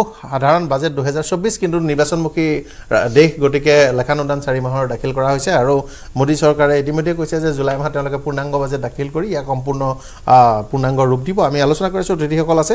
মই বিজেপিৰ প্ৰতিনিধি দেৱজিৎ মহন্ত ডাঙৰীয়াৰ ওচৰলৈ অহাৰ আগতে কংগ্ৰেছৰ পৰা এটা চমু প্ৰতিক্ৰিয়া লৈ ল'ব বিচাৰিছোঁ। কেইবাটা বিষয় উপস্থাপন হৈছে। গোটেই মানে এখেতসকলৰ পৰা গোটেই ৰজি পিকচাৰটো আহিছে আহিছে। এটা ইমান ডাঙৰ দেশৰ বাজেট এখনত কিছু ডেভেলপমেণ্টেল এছপেক্ট থাকে। কিন্তু কিছুমান বেছিক কথা থাকে যিবিলাক আমি এভইড কৰি পেলাই গ'লে বৰ বিপদ হয় যিটোৱে দেখা গৈছে এতিয়া। এতিয়া অকণমান আগতে ক'লে ছ'লাৰ পেনেলৰ কথাটো চৰকাৰে কৈছে। ছ'লাৰ ইনষ্টলেশ্যনৰ কষ্টটো বহুত হাই সেইটো আমাৰ মানুহে পাৰিব জানো। দ্বিতীয় কথাটো হ'ল যে চৰকাৰে এতিয়ালৈ মিডল ক্লাছৰ কাৰণে ঘৰ ঘৰ বনাবৰ কাৰণে টকা দিম বুলি কৈ আছে। ঠিক আছে চৰকাৰে নিজৰ স্কিমৰ ভিতৰত প্ৰায় এক কোটিৰ ওপৰৰ মানুহক ঘৰ দিয়া বুলি কৈছে। সেইবিলাকত যদি আমি ভালকৈ চাবলৈ যাওঁ দেখা পাম যে যিখিনি টকা চৰকাৰে দিয়ে আৰু আজি বজাৰৰ যিটো কষ্ট সেই কষ্টে কিন্তু ঘৰ এটা থিয় কৰিব নোৱাৰে।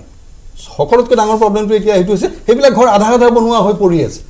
ছাৰ্ভেত ওলাইছে সেইবিলাক কথা।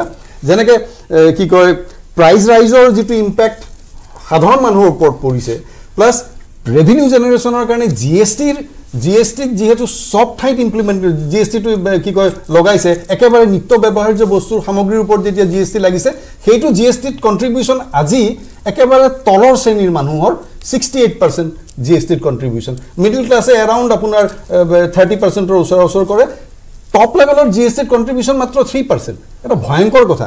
এই বেংক মাৰ্জাৰৰ আইডিয়াটো লৈ পেলাই এই যে লোন ৰাইট অফ কৰা এটা প্ৰক্ৰিয়া আৰম্ভ কৰি দিছে লোন ৰাইট অফ কৰাৰ কৰ- কৰা- কৰোঁতে দেখাততো বেংকৰ একাউণ্টবিলাক বৰ চাফা কৰি লৈছে। কিন্তু সেইটো এটা বিৰাট ডাঙৰ কনস্পিৰেচি যে সেই লোনবিলাক কাৰ ৰাইট অফ কৰিছে এতিয়াও আপুনি চাওক ফাৰ্মাৰ এগ্ৰ' বেছ এখন দেশ এখনত ফাৰ্মাৰে এভৰি ডে চুইচাইড কৰি আছে because of burden of loan লোনৰ বাৰ্ডেনৰ কাৰণে ফাৰ্মাছে এভৰি ডে চুইচাইড কৰে। কম কম লোন দহ হাজাৰ বিছ হাজাৰ পোন্ধৰ হাজাৰ টকাৰ লোন লোন তেওঁলোকে লোড ল'ব নোৱাৰে। আৰু এফালে কৰ্পৰেটক আপুনি লাখ লাখ কোটি টকা আপুনি লোন ৰাইট অফ কৰি আছে বেংকৰ কাৰ টকা? পাব্লিকৰ টকা টেক্স পেয়াৰৰ টকা বা বেংক কি কয় কনজিউমাৰৰ টকা। আপুনি চাব ইন দ্য আদাৰ হেণ্ড কেইটামান কাম কৰিছে। চৈধ্য চনৰ আগলৈ সেইবিলাক নাছিল। আজি এ টি এম আপুনি ইউজ কৰিবলৈ যাওক পাঁচবাৰতকৈ বেছি এ টি এম ইউজ কৰিলে এ টি এম এক্সেচিভ ইউজত আপুনি চাৰ্জ দিব লাগে। এটা ভয়ংকৰ কাম আকৌ কৰিছে কি? জনধন একাউণ্ট খুলিছে। জনধন একাউণ্ট খুলি পেলাই এটা ল আনিছে ভিতৰৰ পৰা যে তিনি হাজাৰ টকাতকৈ যদি কম হয় তেতিয়াহ'লে সেইটোৰ ওপৰত ফাইন লাগিব। একাউণ্টত তিনি হাজাৰ টকা থাকিব লাগিব। সেই টকা কিমান এক্সট্ৰট কৰিছে আপুনি চাওক গভমেণ্টে যোৱাবাৰ এই লাষ্ট ছেশ্যনত কৈছে পাৰ্লিয়ামেণ্টত যে বাইছশ কোটি টকা। বাইছশ কোটি টকা কাৰ?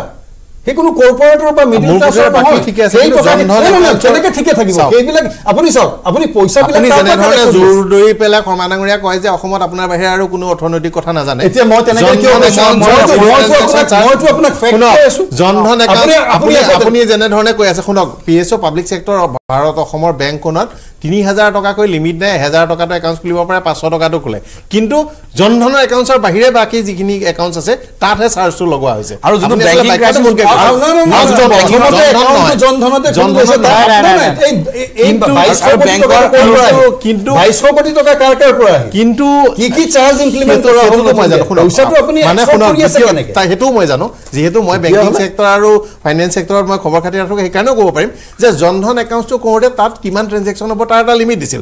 মই দুখীয়া বুলি কৈ জনধন ফ্ৰী একাউণ্ট কৰিলোঁ কাইলৈ মই লাখ টকা ডিপজিট কৰি ট্ৰেঞ্জেকশ্যন কৰি আছোঁ। তেতিয়া মোৰ সেইটো নৰ্মেল একাউণ্টছলৈ ট্ৰেন্সফাৰ হৈছে তাত ট্ৰেঞ্জেকশ্যন চাৰ্জ কেছ ডিপজিটটো আপুনি চাওক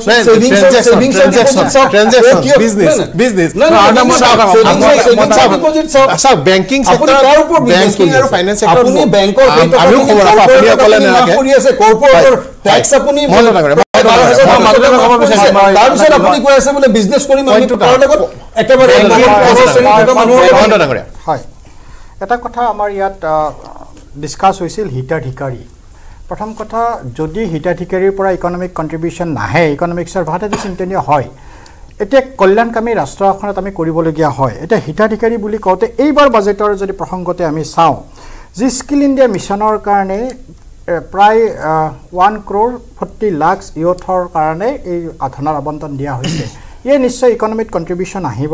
আৰু দ্বিতীয়তে যদি আমি চাওঁ যি আমি মুদ্ৰা যোজনা জেনেৰেলি মুদ্ৰা যোজনাত কম সুতৰ হাৰত যিখিনি লোকে ইতিমধ্যে ব্যৱসায় আৰম্ভ কৰিছে তাক সহায় কৰাৰ কাৰণে আৰম্ভ কৰা হৈছিল। এইবাৰ যদি বাজেটত চাই ফৰ্টি ফৰ্টি থ্ৰী ক্ৰ'ৰ আবণ্টন দিছে। যাৰ জৰিয়তে অলমষ্ট আমি আশা কৰিছোঁ প্ৰায় নিয়াৰ এবাউট পঁচিছ লাখ যুৱকে তাৰ পৰা বেনিফিট হ'ব। দ্বিতীয়তে নাৰী শক্তিৰ কাৰণে যি তিনি কোটি মহিলাক লাখপতি কৰা হ'ব এইটো স্বনিৰ্ভৰশীলতা। অসমৰ প্ৰেক্ষাপটতে যদি কওঁ আমি অসমৰ প্ৰেক্ষাপটত যে আমি এক লাখ যুৱকক দুই লাখকৈ আমি যদি দিওঁ তাৰ পৰা এটা ইকনমিক কণ্ট্ৰিবিউশ্যন আহে। তৃতীয়তে মোৰ কংগ্ৰেছৰ প্ৰতিনিধিগৰাকীয়ে এটা কথা কৈছিলে যে আমি ঋণৰ ওপৰত ঋণ লৈ গৈ আছোঁ। ঋণৰ ওপৰত ঋণ লৈ যোৱা নোৱাটো তেখেতে হয়তো কিমান অধ্যয়ন কৰিছে মই গম নাপাওঁ। কথাখিনি মই তেখেতক জনাই দিওঁ যে টু থাউজেণ্ড থ্ৰীত ৰিজাৰ্ভ বেংকে fiscal responsibility and budget management rule বুলি এফ আৰ বি এম এক এখন আনিছিল আৰু সেই একমতে আগতে তিনি শতাংশ আপোনাৰ যিখন ৰাজ্যৰ যিখিনি সামগ্ৰিকভাৱে জি ডি পি অৰ্থাৎ সেই বছৰটোত যিখিনি সামগ্ৰী আৰু সেৱা উৎপাদন কৰে তেনে তিনি পাৰ্চেণ্ট আৰু এতিয়া এইটো চাৰে তিনি শতাংশ কৰিছে। এতিয়া কংগ্ৰেছৰ দিনত দুহেজাৰ যদি আমি আমাৰ চৰকাৰখন অহাৰ আগত অসমতে যদি উদাহৰণ হিচাপে লওঁ তেতিয়া আমাৰ যদি কং তেখেতে যদি কয় মোৰ দুহেজাৰ পাঁচশ কোটি টকা ধাৰ আছিল। তাৰমানে সেই সময়ত বাজেটৰ পৰিসৰে সিমানখিনি আছিল। পঞ্চাছ হাজাৰ কোটি টকাত আপুনি থ্ৰী পইণ্ট ফাইভ পাৰ্চেণ্ট কিমান পাব? আজি আমাৰ ডেৰ লাখ কোটি টকাৰ বাজেট হ'বলৈ গৈ আছে। গতিকে সেই হিচাপে ধাৰৰ পৰিমাণ হয়। ডেৰ লাখ কোটি টকা হৈছে। মই আপুনি কৈ থাকোঁতে এবাৰো মাতা নাই। আপোনাৰ সময় আহিলে কৈ দিব। গতিকে যদি কিবা কাৰণত ৰিজাৰ্ভ বেংকে এইটো ৰুলো দি থৈ দিয়ে যে আপুনি কিমানখিনিলৈকে ঋণ ল'ব পাৰিব দ্বিতীয়তে তেখেতে কৈছিলে যে চ'লাৰৰ কথাটো। মই নিজে শক্তিখণ্ডৰ এগৰাকী সঞ্চালক হয়। তেখেতে কৈছে যে solar installment is very high বহুত কষ্টলি হয়। তেখেতে হয়তো এইটো অৱগতও নহয় যে ছিক্সটি টু ছেভেণ্টি পাৰ্চেণ্ট আমি চ'লাৰ যেতিয়া আপুনি হেৰি কৰিব চৰকাৰীভাৱে তাত ৰাজসাহাৰ্য দিয়া হয়। প্ৰায় নব্বৈ শতাংশলৈকে আছে। আমাৰ 90 অসম শতাংশ চৰকাৰৰ আছে। এডিআৰএটো পঞ্চাছ শতাংশ আছে। মানে overall কৈছোঁ। এগ্ৰিকালচাৰত ক'ৰবাত আশী শতাংশ নব্বৈ শতাংশলৈকে আছে। গতিকে এইটোৱে যে এটা ড্ৰাষ্টিক চেঞ্জ আনিব আমি অসমত এতিয়া আমাক অনলাইন এভাৰেজ মই খালি এটা বাক্য আপোনাৰ লগত এড কৰোঁ মই মই যিটো কথা জানো যে প্ৰায় six lakh crore seven lakh crore solar ছেক্টৰত লাইন আপ হৈ আছে ইনভেষ্টমেণ্ট হয়। Some large companies and government P S Os.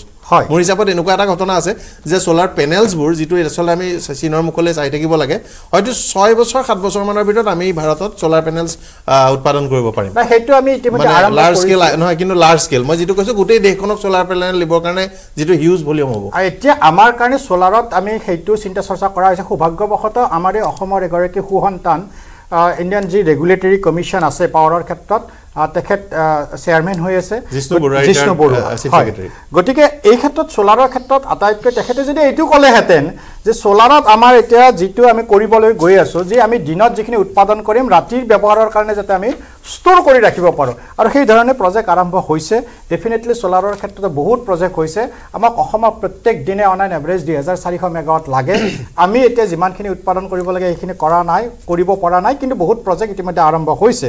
দ্বিতীয়তে তেখেতে কৈছিলে যে আমি যিটো জনধন একাউণ্টৰ কথা আপুনিও ইণ্টাৰফিয়াৰ কৰি তেখেতক বুজাই দিছে জনধন একাউণ্ট আঠচল্লিছ কোটি মানুহৰ আজিৰ তাৰিখত জনধন একাউণ্ট খুলি দি আমি কেৱল তেখেতসকলৰ যে তেখেতসকলে এইটো কিয় মানি নলয় যে দুই যেতিয়া নাইনটিন ঊনৈছশ পঁচাশী চনত সেই সময়ৰ প্ৰধানমন্ত্ৰী ৰাজীৱ গান্ধী ডাঙৰীয়াই উৰিষ্যাৰ যেতিয়া কালান্দি চহৰত গৈছিল ৰাজহুৱা মিটিঙত ষ্টেটমেণ্ট দি থৈছিল every single rupees which is sent from the centre only a fraction of fifteen paisa reach to the targeted beneficiaries অৰ্থাৎ যি এটকা আমি কেন্দ্ৰৰ পৰা পঠাওঁ তাৰে পোন্ধৰ পইচাহে যাৰ নামত পঠাওঁ তেখেতে পায়। এই আঠচল্লিছ কোটি বেংক একাউণ্ট খুলি দিয়াৰ বৃহত্তম এটা উদ্দেশ্য আছিল যাতে প্ৰতিটো টকাৰ প্ৰতি টকাই পায় প্ৰথম। দ্বিতীয়তে তেখেতসকলৰ যাতে সঞ্চয়ৰ মনোভাৱ সৃষ্টি হয় তৃতীয়তে বেংক ব্যৱস্থাৰ পৰা বাহিৰত থকা এই লোকখিনিক যাতে আমি বেংকিং সেৱাৰ লগত পৰিচয় কৰি দিব পাৰোঁ। গতিকে হয় কেৱল মাত্ৰ তেখেতসকলে যেনেকৈ মিডিলমেন সৃষ্টি কৰি যিটো কৰিছিলে সেইটো আমি কৰিব কৰিব খোজা নাই আৰু তাৰে সুফল আহিছে। মানুহে যি তেখেতক সেয়াই বিশ্বাস কৰে। হয় এতিয়া আমি বহুত দূৰ যাব লগা আছে। তেখেতে তেনেকৈ ছাজেশ্যন দিয়ক। কিন্তু কিছুমান মিছা তথ্য দি ৰাজ্যক ভুল পথে পৰিচালিত কৰিব আপুনি নালাগে। মিছা মিছা তথ্য কি- কোনটো দিলো আপুনি কওক। আঠচল্লিছ আপুনি মিঠা- মিছা তথ্য কোনটো দিলো আপুনি কওক আপোনাৰ ওচৰলৈ মই আহিম, আপুনি আপোনাৰ দিয়ক। ভুলকে কৈছে আপুনি- তেখেতে তেনেকে ক'ব নোৱাৰে। নহয়।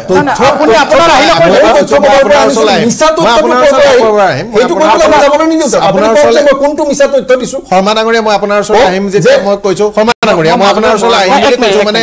আমিতো আৰু এতিয়া তেনেকে যে শৰ্মা। ডাঙৰীয়া আপুনি উত্তৰটো দিব পাব লাগে। কিন্তু আপ- এটা কথা মনত ৰাখিব আপোনাক মই উত্তৰটো দিবলৈ ক'ম আৰু মই আপোনাক ৰাউণ্ডত মই এজন মানুহক কমকে বা বেছিকে নিদিওঁ কিন্তু যে আপুনি ভাবিছে যে চুপতি মাৰি সময়খিনি নষ্ট কৰিম আমি চুপতি কথাটো- মাৰিবৰ কাৰণে কৰা? চুপতি মাৰিবৰ আমি শ্ব' কৰিম। বাজেটটো যাবলৈ দিয়ক কাইলৈ পৰহিৰ পৰা আমি পলিটিকেল শ্ব' কৰিম একদম আমি ভালকে চুপতি কৰোৱাম। আমি বেয়া নাপাওঁ আপোনালোকে পলিটিকেলি চুপতি কিন্তু আজি কৰোৱা নাই আজি মই আপোনাৰ দেশৰ loan মহন্ত ডাঙৰীয়া শৰ্মা ডাঙৰীয়া আপুনি কথাটো ক'ব পাৰিব লাগে আমাৰ দৰ্শকলে মই আপোনাক ক'বলৈ আপোনাৰ ওচৰলৈ মই যাম। মাজত ইণ্টাৰফেয়াৰ কৰিলে মোৰ সময়খিনি নষ্ট হয় কাৰণ আমি এঘণ্টা নিৰ্দিষ্ট আমাৰ কোনো নিৰ্বাচনী মিটিং নহয় বা হেৰি নহয়। ইয়াত জয় হোৱা মানে যুদ্ধ জয় হৈ গ'ল নিৰ্বাচন জয় হৈ গ'ল। তেনেকুৱা যুদ্ধ কিন্তু কৰিবলৈ অহা নাই ন কিন্তু আকৌ। কিন্তু মহন্ত ডাঙৰীয়া। এইটো কথা ঠিক যে তথাপিও আশী কোটি মানুহক চৰকাৰে চাউল খুৱাবলগীয়া অৱস্থা মানে খুব শক্তিশালী অৰ্থনীতিৰ চিহ্ন হয়। মই আশী কোটিটোৰ ক্ষেত্ৰত এইটোৱেই ক'ম। মানে নম্বৰটো বহুত বেছি আশী কোটি মানুহ আমাৰ দেশখনত চৰকাৰী চাউলৰ ওপৰত নিৰ্ভৰ কৰি আছে বৰ দুৰ্ভাগ্যজনক কথা কিন্তু। সেইটো এটা পৰিৱৰ্তন হোৱা উচিত আছিল। ডেফিনেটলি আপোনালোকৰ ছাজেশ্যনটো আমি দলৰ মাজেদি চৰকাৰৰ ওচৰত লৈ যোৱাৰ চিন্তা নিশ্চয় কৰিম। চাওক আমি সদায় ৰেডি থাকোঁ আপোনালোকে যদি কিবা পজিটিভ আমাক দিয়ে আমি লৈ যাব লাগিব। কিন্তু এটা কথা মই কৈ থওঁ যি যে- তেখেতসকলে যি কৰি থৈ দিছিল যি এই আমাৰ যদি বাজেট হয় এই বাজেটত উত্তৰ পূৰ্বাঞ্চলে কি পায়? তেখেতসকলৰ দিনত দুহেজাৰ পোন্ধৰ ষোল্লত যেতিয়া লাষ্ট বাজেট হৈছিল তেতিয়া উত্তৰ পূৰ্বাঞ্চলে কেন্দ্ৰৰ বাজেটৰ পৰা মাত্ৰ পঞ্চল্লিছ হাজাৰ কোটি টকা পাইছিল। আৰু আজি আজিৰ ডেটত এক লাখ ছয় হাজাৰ কোটি টকা পায়। আমি যে পৰিৱৰ্তনৰ কথা কওঁ আপুনি তিনিটা কথা কোৱাৰ সুযোগ দিব লাগিব। প্ৰথম কথা যেতিয়া আমি বাজেটক লৈ যিখিনি সুখৰ প্ৰতিচ্ছবি দেখিছোঁ তাতে থকা শংকিত হোৱা কাৰণ এটা মই অৰ্থনীতিৰ ছাত্ৰ হিচাপত কৈছোঁ যে আমাৰ যিটো ৰাজহুৱা ফিজিকেল ডেফিচিট। ৰাজহ ঘাটি সেয়া দুহেজাৰ চৌব্বিছ পঁচিছ বৰ্ষত প্ৰায় পাঁচ দশমিক এক শতাংশ হ'ব বুলি কোৱা হৈছে। ই আগৰ তুলনাত প্ৰায় seventy one point basis point কম যদিও।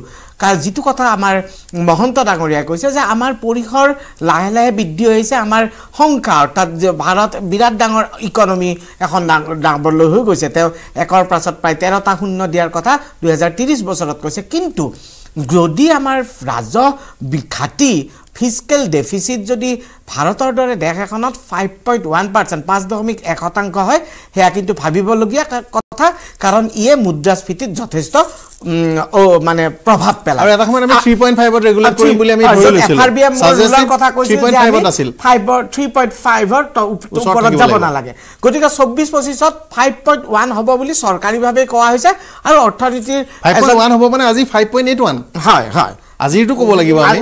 মানে মই পৰৱৰ্তী বছৰৰ কথা কৈছো। ৱৰ্ল্ডৰ মেক্সিমাম কাণ্ট্ৰিজৰে নহয়, কথা- কাটডাউন কৰিছে।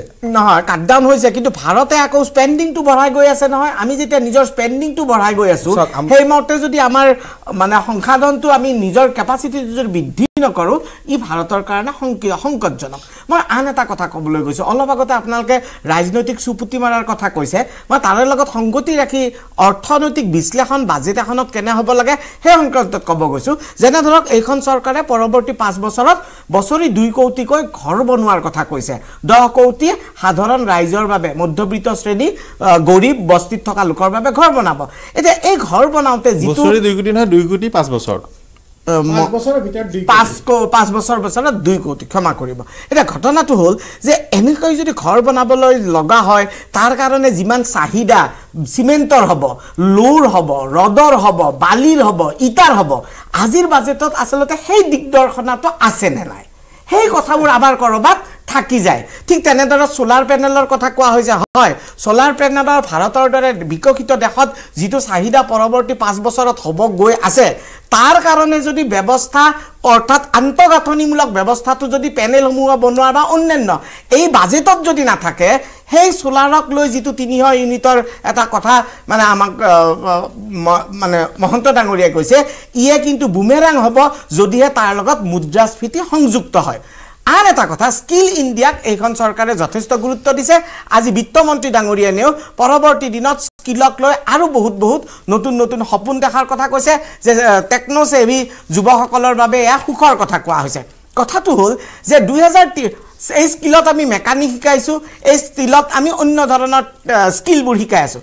ঘটনা হ'ল দুই চনত যেতিয়া সকলো বাহনেই আমি ইলেক্ট্ৰিকেল ভেহিকল হ'ব বুলি কামনা মানে ভাবিছোঁ সেই সময়ত আজি পেট্ৰল ডিজেল ইঞ্জেল ভাল কৰা স্কিল শিকাই বৰ্তমান কিবা লাভ হ'ব নেকি? মোৰ মনত অহা সাধাৰণ প্ৰশ্ন অৰ্থাৎ এই যে কিন্তু ভৱিষ্যত কিন্তু আপুনি পেট্ৰল ডিজেলৰ মেকানিক আপুনি হয়তো স্কিল কিমান আপুনি কৈছোঁ। টেকনিকেলি আপুনি কিমান চাইছে মই নাজানো এয়াৰ ওৱান পাৰ্চেণ্টতকৈ কম নাম্বাৰটো একদম মই পেট্ৰল উদাহৰণ- ডিজেলৰ নাম- নহয়। তাতকৈ বৰচৰঞ্চ মই দেখিছোঁ যে কিছু ফিউচাৰ ফিউচাৰিষ্টিক যথেষ্ট যেনেকৈ আমি এতিয়া বাৰ টেণ্ডাৰিঙৰ কাৰণে কৰিছে যাতে বিদেশত এমপ্লয়মেণ্ট হ'ব পাৰে হস্পিটেলিটিৰ কাৰণে কৰিছে নাৰ্ছিং কৰিছে।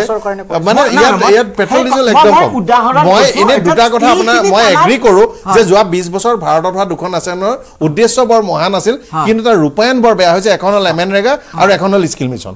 দুইখনৰে কিন্তু ফাণ্ডিং আৰু ইউটিলাইজেশ্যনত যথেষ্ট। অপব্যৱহাৰ হৈছে। কিন্তু দুইখনৰে অতি মহান উদ্দেশ্য। আছিল এখন মনমোহন সিং চৰকাৰৰ দিনত আৰু এখন- এতিয়া মোদী চৰকাৰ। হয় আহিছোঁ মই আপোনাৰ ওচৰলৈ নগৰ। যে মই মাজতে কথামান শুনিলোঁ যে বেংকিং বেংকৰ কথা পাতি আছিলোঁ যে ৰাইটিং অফ কৰিছে ইয়াত মই কংগ্ৰেছৰ মই আগৰ প্ৰিভিয়াছ যোনটো গভৰ্ণমেণ্ট হয় তেওঁলোককো ৰেচপনচিবল বুলি কওঁ আৰু বৰ্তমান গভৰ্ণমেণ্ট যোনখন হয় তেওঁলোকৰ ৰোল আছে কিছুমান কাৰণ প্ৰথমতে যোনটো পলিটিকেল আৰু কৰ্পৰেট নেক্সাছ আজিৰ দিনৰ নহ'ব পুৰণা নামবিলাক নবলে বেয়া লাগে সেইটো মোৰ কিছুমান লিডাৰ আছিলে ষ্টেট বেংকৰ কোনোবা মানি ক'লে যে আপুনি এজন কৰ্পৰেট লোন দিব লাগিব।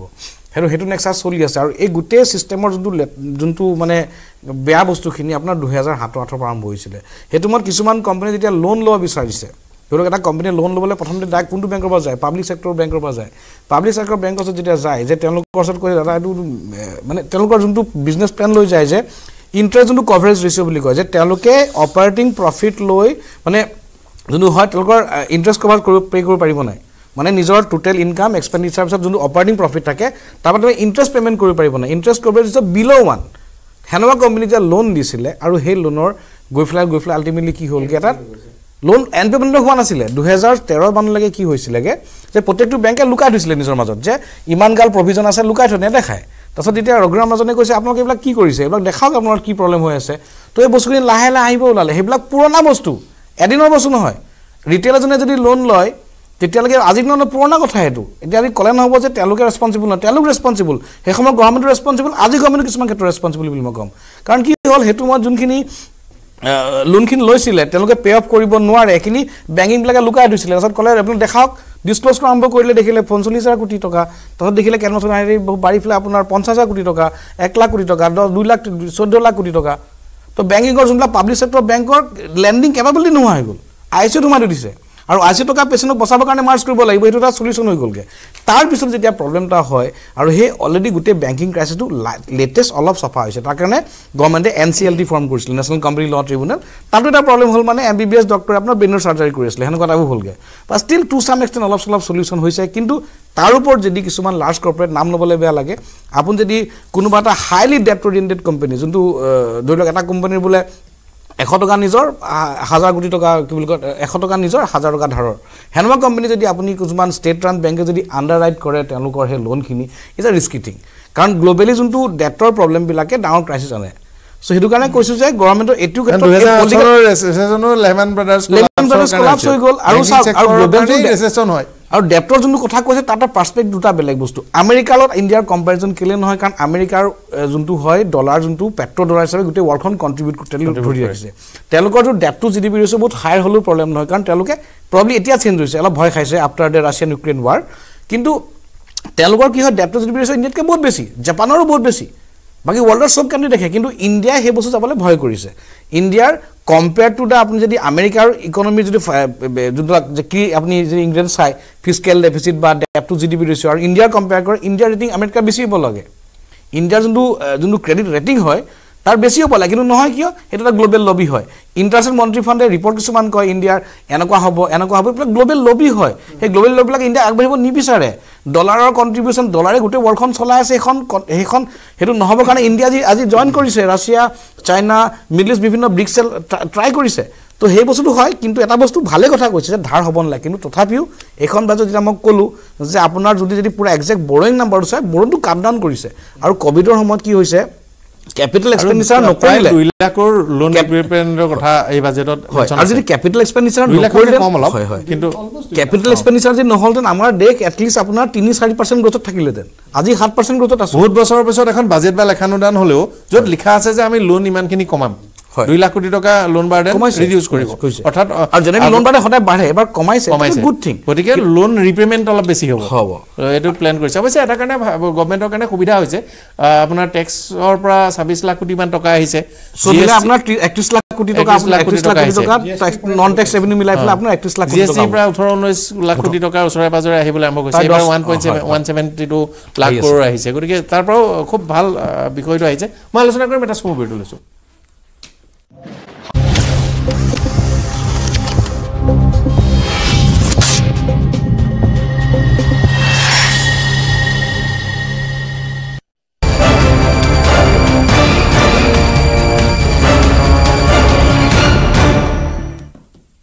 বিৰতিৰ পিছত স্বাগতম জনাইছোঁ। লেখানুদান দুহেজাৰ চৌবিছ পঁচিছ বৰ্ষৰ বিত্তীয় বৰ্ষৰ যি লেখানুদান দাখিল কৰিলে আৰু পূৰ্ণাংগ বাজেট দাখিল কৰাৰ প্ৰতিশ্ৰুতি দিছে জুলাই মাহত।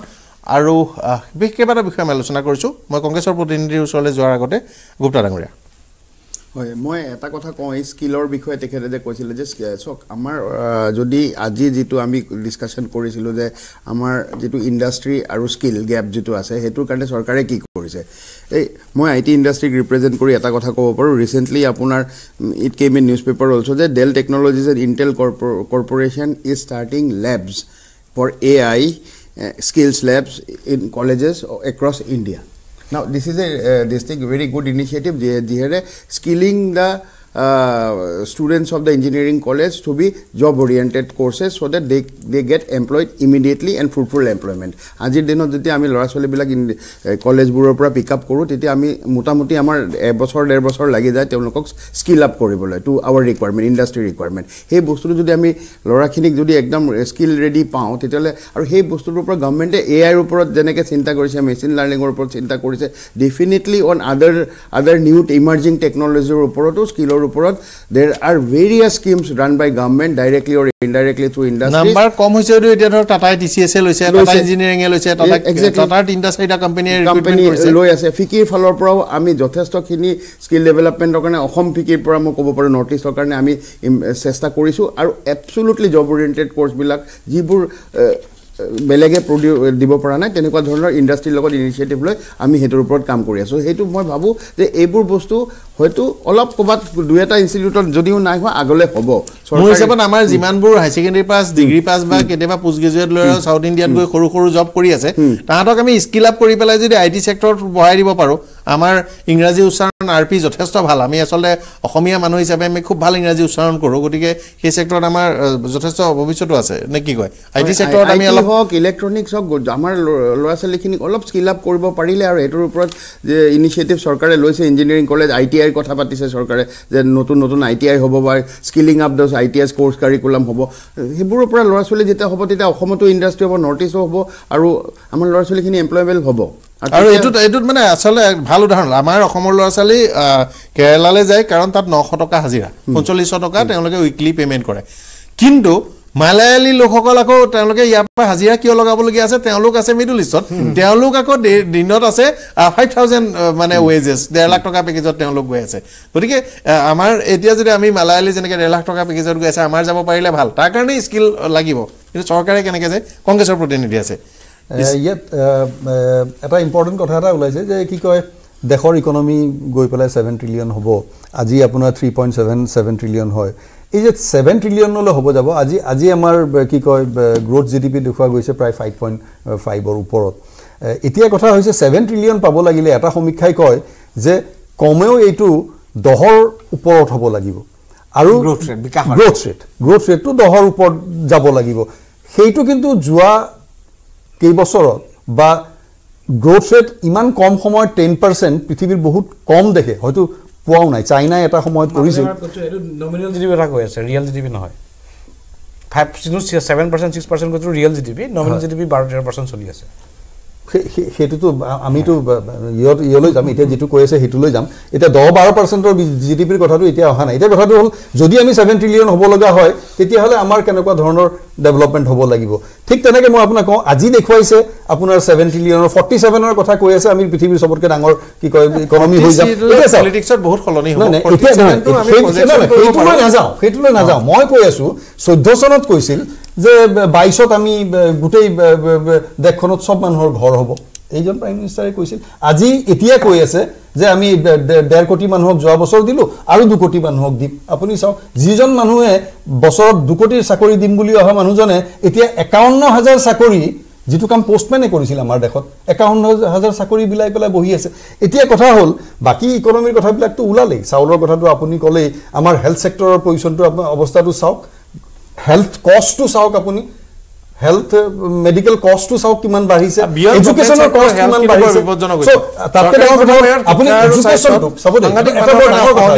আমি ষ্ট্ৰং কৰিব খুজিম আমি এডুকেটেড কেনেকৈ কৰি আছোঁ আমাৰ এডুকেশ্যনৰ পৰিসৰটো আপুনি চাওক আমি এই চিটি বেষ্ট এডুকেশ্যনৰ ওপৰত তাকো প্ৰাইভেট ছেক্টৰত চলি আছে গ্ৰাম্যলৈ যেতিয়া সোমাই গৈছোঁ তাত ইনষ্টিটিউটবিলাকৰ ডেভেলপমেণ্টটো এতিয়াও হোৱা নাই সেইবিলাকতো একেবাৰে হোৱা নাই তাত ল'ৰা ছোৱালীৰ পঢ়া শুনাৰ ষ্টেণ্ডাৰ্ডটো আপুনি চাওক কি হৈছেগৈ বা প্ৰত্যেকটো গভমেণ্টে কেনেকৈ সেইটো ডিল কৰিছে? এই এইবিলাক কিছুমান ছিৰিয়াছ ইছ্যু আছে।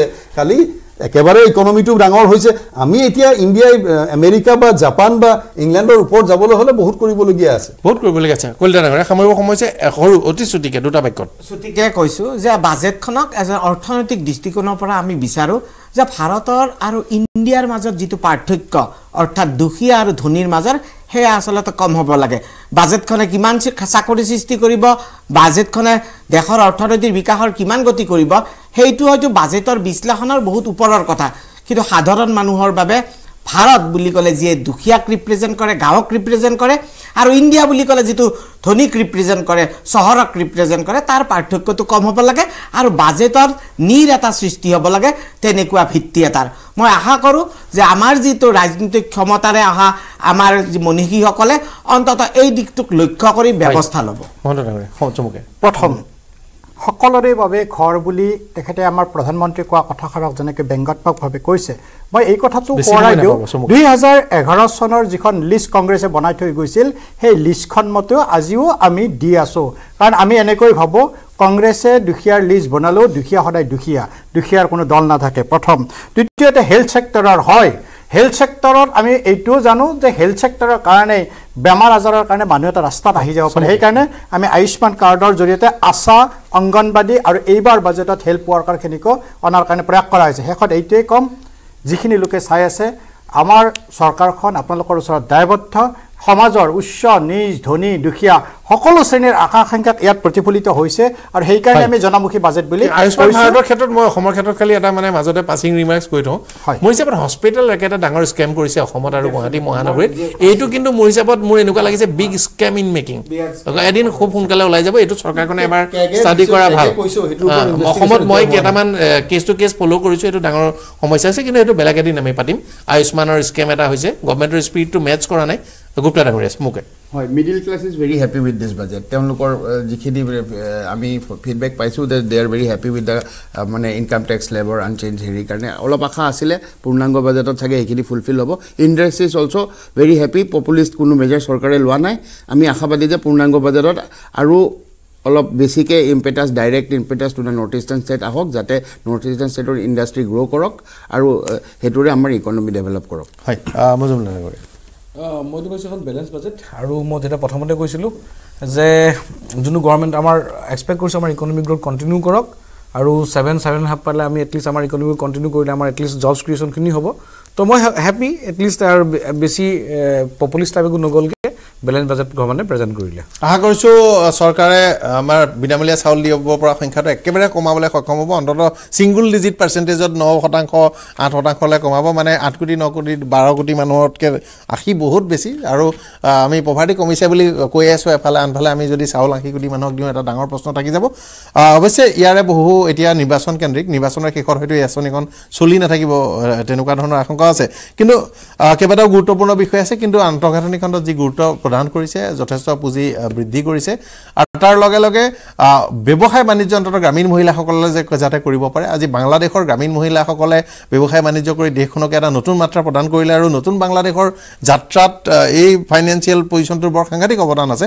অন্ততঃ এই যে পইচা ধনখিনি আহিব আহ, সকলো গ্ৰামীণ মহিলাৰ কাৰণে এইটো এটা খুব বৃহৎ এটা গেম চেঞ্জিং কথা হ'ব পাৰে ৰুৰেল ইকনমিৰ কাৰণে আশা কৰিছোঁ। কৃষিখণ্ডৰ গুৰুত্বপূৰ্ণ বিষয় কেইবাটাও আছে। আৰু নিৰ্বাচনৰ প্ৰাক মুহূৰ্তত এই বাজেটে নিশ্চিতভাৱে ভোটাৰ সন্তুষ্ট কৰিবলৈ চেষ্টা কৰিছে সন্মুখত নিৰ্বাচন। বাজেটৰ সমগ্ৰ বিষয়টোক লৈ চৰ্চা আমি অন্ত পেলাইছোঁ আৰু অসমৰ ৰাজ্যিক বাজেটলৈ এতিয়া প্ৰতীক্ষা বাৰ ফেব্ৰুৱাৰী তাৰিখে অসমত ৰাজ্যিক বাজেট হ'ব। ৰাজ্যিক বাজেট কেনেদৰে হয় সেই একে গতি লাভ কৰিব পাৰে নোৱাৰে সেয়া গুৰুত্বপূৰ্ণ হ'ব। ধন্যবাদ জনাইছোঁ সকলো অতিথিকে আৰু অনুষ্ঠান সমাপ্ত কৰিছোঁ সাধাৰণ